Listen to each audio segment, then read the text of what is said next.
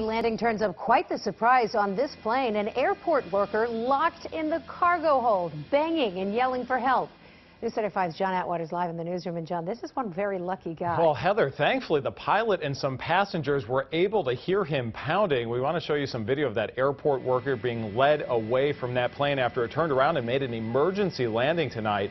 The Alaska Airlines flight left Seattle on the way to Los Angeles this afternoon, but a few minutes in, screaming and pounding startled people on board. By phone, a woman on that flight describes the pilot's reaction.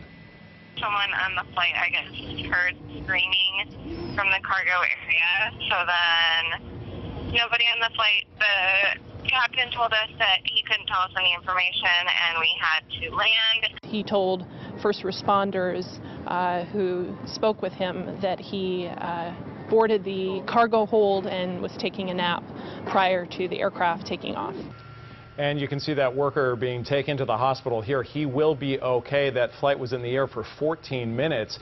That cargo hold is pressurized. It is temperature controlled, but still pretty scary when you wake up from a nap. The airline now investigating why he thought that was an appropriate place to sleep.